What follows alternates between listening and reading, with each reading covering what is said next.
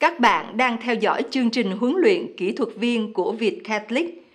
Trong chương trình này, Đình Trinh sẽ giới thiệu với các bạn cách thức làm một video wall để giới thiệu các bản tin sẽ được phát trong chương trình. Video wall chính là cái mà bạn đang thấy sau lưng Đình Trinh. Muốn làm một video wall như thế, bạn phải dùng Adobe Premiere version 2015 Update 2. Đầu tiên, bạn cần download xuống máy của bạn file videowall.zip từ Mega của Việt Catholic. Sau khi download xong, xin unzip ra vào một folder. Bạn chỉ cần thực hiện bước này một lần duy nhất.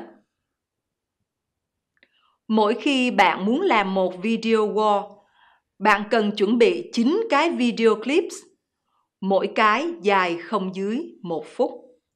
Bây giờ, trong Windows Explorer, bạn vào cái folder mà bạn đã unzip cái file videowall.zip download từ Mega của Việt Catholic. Sau đó, nhấn vào file Video Wall Template Project. Windows Explorer sẽ khởi động Adobe Premiere cho bạn. Sau khi Adobe Premiere khởi động xong, bạn nên save cái project này vào chỗ khác, chứ đừng save vào cùng chỗ với cái folder hiện nay. Bây giờ, trong Adobe Premiere, bạn kéo hết 9 cái video clips vào trong panel project.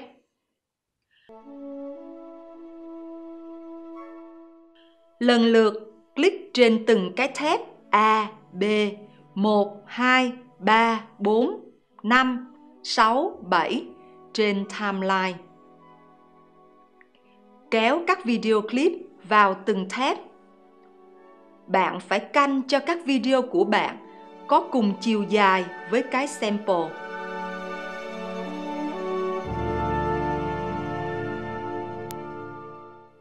Nếu cái video của bạn không phải là 1080 thì right click trên cái clip và chọn Menu Scale to Frame Size.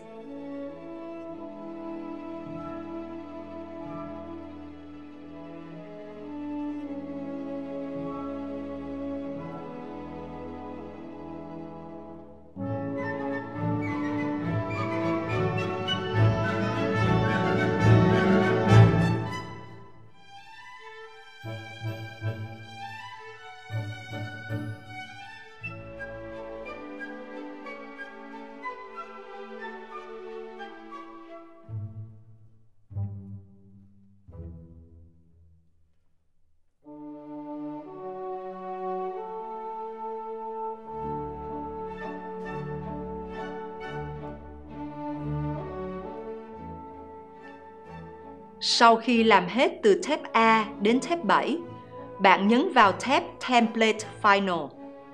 Nhấn Ctrl M để render. Trong Export Settings, bạn phải chọn là Việt Catholic Standard. Nhấn Q hay Export để render. Chờ một chút là bạn có cái video wall